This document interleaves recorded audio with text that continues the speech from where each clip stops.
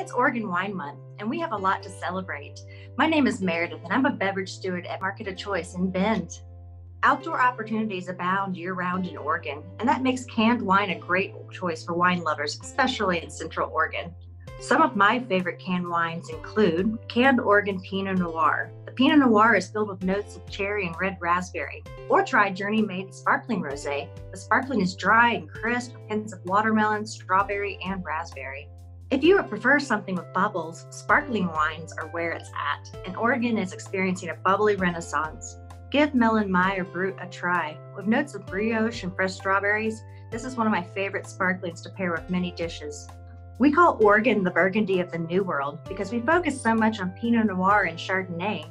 But let's not forget about Southern Oregon, where they're producing bigger reds such as Tempranillo, Cabernet Sauvignon, Merlot, and Syrah. Try the Fences Rogue Valley Cabernet Sauvignon. It is amazing that we are producing a rich, luscious Cabernet in Southern Oregon. This wine has notes of berries and currants, and it's impressive to drink next to its California cousins. If you are looking for the perfect wine to pair with your next meal, we can help with that too. Stop by Market of Choice and talk with one of your beverage stewards, and let's explore what our beautiful state has to offer.